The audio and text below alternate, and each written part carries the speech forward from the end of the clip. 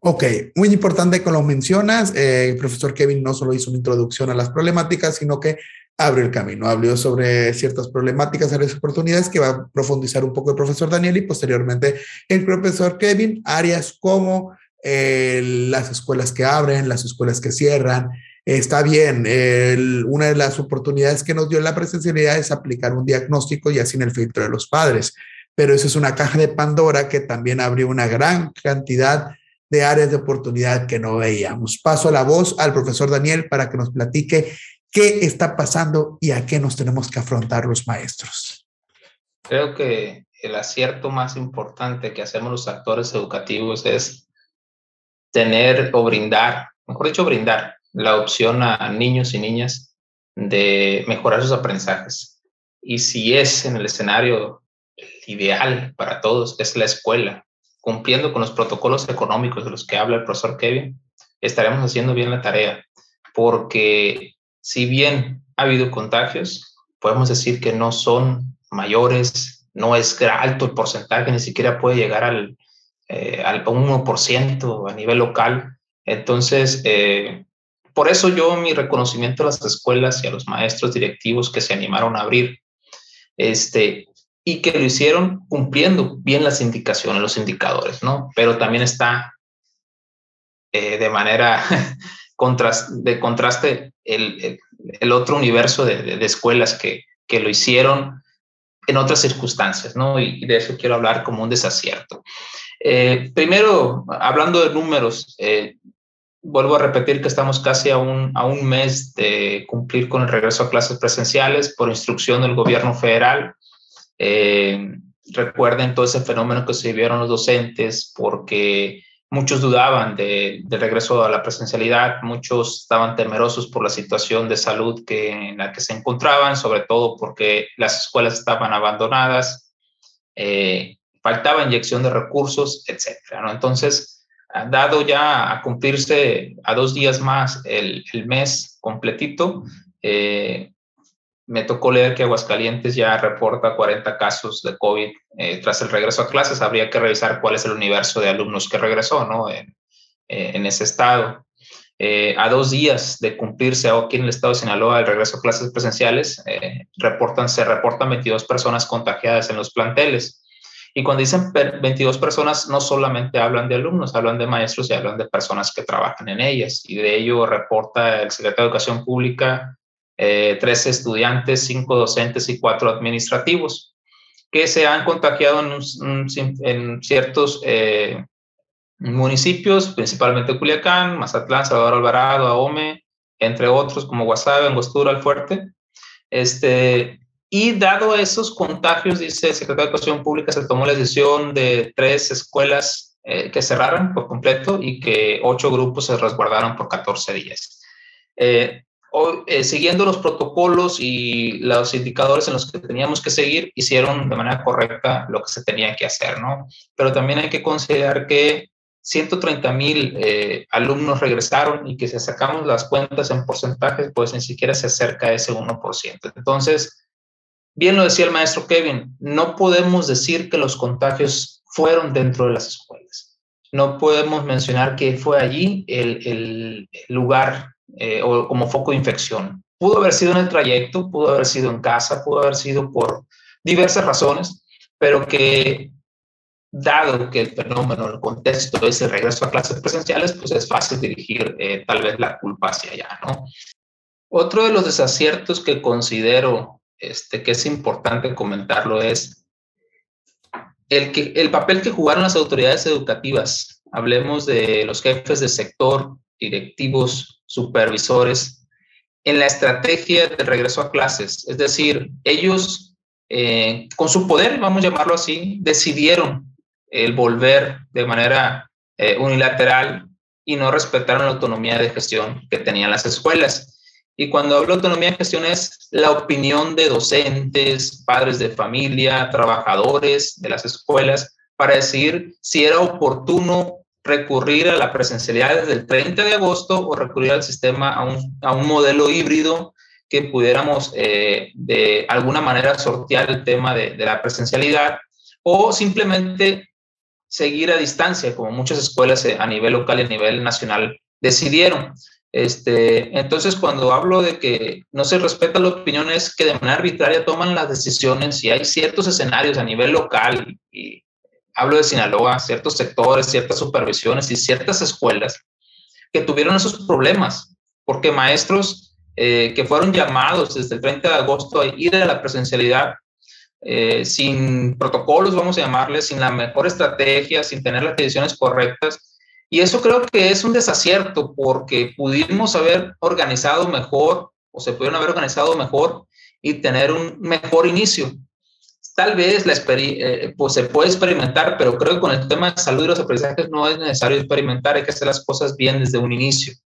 Eh, el regreso sin diagnóstico es un diagnóstico sin, sin, sin, ser oportuno y mandar por el frente a los maestros, a los directivos, y que autoridades educativas más altas, hablemos de jefe sector, supervisores y la misma Secretaría de Educación Pública se cuelgue el premio de que volvemos a las clases presenciales, pues no es la idea. La idea es que todos juntos en una misma estrategia llevemos a cabo el ejercicio que es la educación.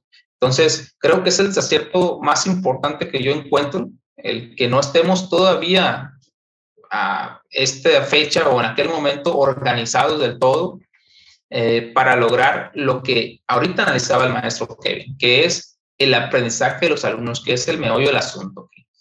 Eh, ese tipo de desaciertos, de inoperancia en las estrategias que podamos estar eh, desarrollando, puede volver en números, podemos llamar negativos, el ejercicio que estamos llevando en las escuelas. Entonces, es por eso que que no estemos, no, no, vayamos a experimentar. Es necesario adecuar bien todas las posibilidades de los maestros de las escuelas para que un mes de octubre, por ejemplo, o tal vez noviembre, ya en su mayoría las escuelas estén operando en el sistema híbrido.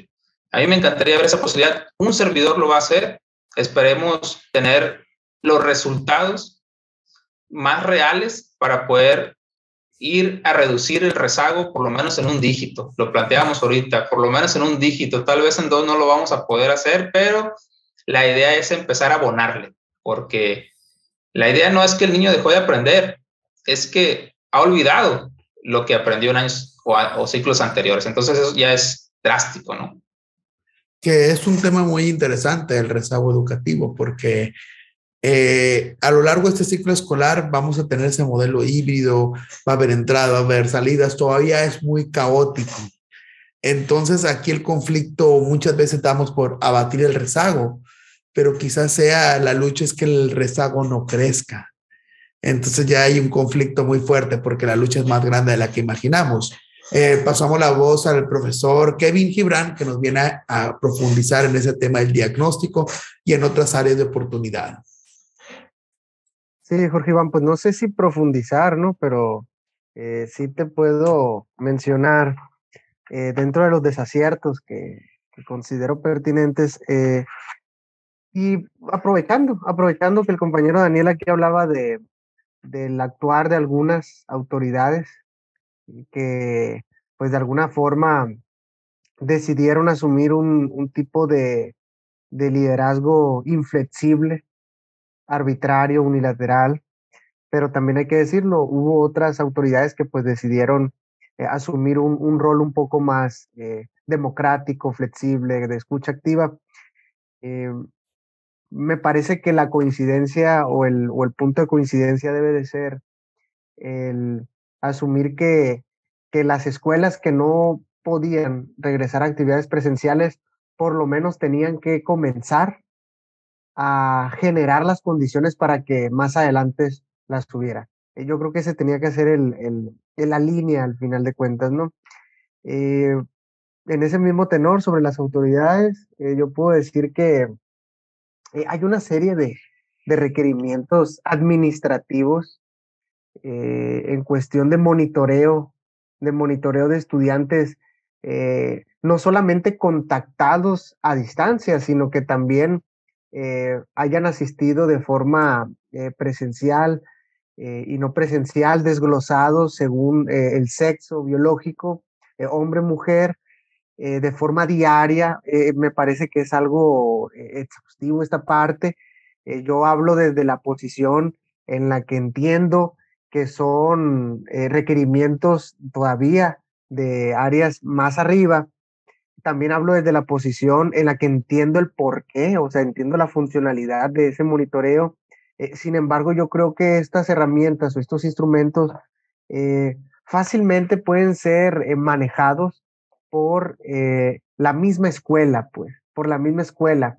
Eh, vamos a, por, por, qué les digo esto? Resulta eh, irrelevante en escuelas que regresan en un modelo híbrido y donde los padres de familia son voluntarios de mandar o no a sus hijos a la escuela, estar tratando de, tener un monitoreo diario, o sea, no, no, no hay sentido, dado que hay muchísimos factores en los que interviene la asistencia o no del estudiante. Eh, eso en esta parte, ¿no? Otra cosa, eh, ¿qué hacer con el alumnado sin comunicación? Fíjense, me, me, da, me da risa, pero es risa nerviosa, ¿no? ¿Cuántos estudiantes eh, no están rechazando la oportunidad de asistir de forma presencial? Teniendo la posibilidad de conectarse de forma virtual, porque ahora yo veo mucha más eh, actividad virtual que en otras ocasiones, eh, pues no, no, tampoco se están conectando. Y asumado a eso, ni siquiera las actividades a distancia, a las que voy a denominar a, correspondencia, ¿no? Que les enviamos las actividades y pues mandan evidencias y retroalimentamos. Eh, ninguna de estas tres maneras de trabajo han sido atendidas por un grupo de padres de familia. Esto lo vamos a encontrar en todos los contextos. ¿Qué se va a realizar con esos estudiantes? Actualmente aparecen en las boletas de calificaciones, aparecen con un guion a quienes no se les puso calificación y no están apareciendo en los formatos únicos de alumnos, o sea, en las listas no aparecen registrados. Sin embargo, al final del día se les tiene que poner una, una calificación o eso todavía no han determinado o qué hacer en caso de que no se les haya diagnosticado. Entonces, hay un problema ahí de fondo con la corresponsabilidad de los padres de familia. Eh, lo más sencillo es hacer mediante mecanismos eh, institucionales que la escuela busque la forma de contactar a esos estudiantes o busque la manera de, resolver el problema. Pero yo creo que a estas alturas, después de un año y medio de pandemia, después de todas las experiencias que hemos tenido, creo que ya las medidas deberían de ser un poco más Mm, interinstitucionales, o sea, permitir a, las escuelas eh, tener esa posibilidad de diálogo con otras instituciones que también puedan intervenir para poder comunicarnos con esos estudiantes y quienes por esa situación o por cualquier otra están siendo privados de recibir su educación. Eh, fíjense lo, lo nobles que somos en las escuelas. Estamos buscando a los estudiantes para que reciban educación y para que se puedan preparar para la vida. Así de noble es, nuestra, es nuestra labor, pero yo creo que en estos momentos ya se necesita eh, iniciar con otro tipo de, medidas. Y ahora, pues nada más para abonar un poquito a lo que se estaba mencionando sobre eh, la cuestión eh, de diagnósticos, comentario común que vamos a escuchar, con, sobre todo con los estudiantes de primer grado. Estamos recibiendo estudiantes sin preescolar, eh, de, estudiantes que se encuentran registrados en segundo grado. Estamos trabajando con alumnos de primero y vamos a requerir actividades de alfabetización. Antes eh, podíamos tomar medidas primero y segundo grado. Ahora estas actividades de alfabetización tendrán que ser una campaña para toda la escuela, porque vamos a encontrar casos aislados en, bueno, espero que aislados en todos los demás grados ¿no? y, niveles educativos. Recordar que esta pandemia agarró a muchos estudiantes que estaban eh, consolidando su eh, habilidades de lectoescritura, apenas consolidándolos en quinto, cuarto grado. Esos niños ya están ahorita en, sexto o ya pasaron incluso a secundaria. Eh, entonces, estas son las partes que yo considero como, pues como de desaciertos, más que desaciertos como áreas de oportunidad, porque creo que pudiéramos enfocarnos a ellos, tomar decisiones y, y que esto no se quede así, no, no, no se puede no podemos seguir con estos desaciertos, por, así llamarlo, con estas áreas de oportunidad. Son áreas de mejora. Pues. Aquí mi comentario, chaval.